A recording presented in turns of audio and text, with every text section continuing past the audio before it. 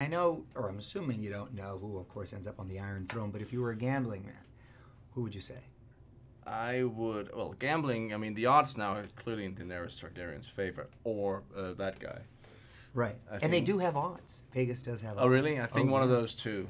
I would. if I But don't bet. you think it's going to be someone out of left field? Oh, of don't you feel that those are those seem like the obvious choice? And what we know about the show is that it constantly surprises you. So I'm wondering if it might be Bran. Huh. Took a season off, come back, and. Uh, Well, insistent- just because we keep seeing the but- world from his perspective, don't Right. we? We keep seeing the vision. So is he in the future the king? projecting in Huh. the past? That's a twist. No, it doesn't make sense. Why? Because he's al- already planning the future. He's seeing into the future and the past. So Yes.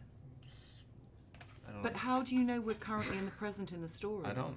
How do you know the, the story might not necessarily be in chronological order? It might th- not be but you- literal. but, but if this is real, right? Yeah. That, that the three-eyed raven, then then he also made Jaime push him out the window. yes.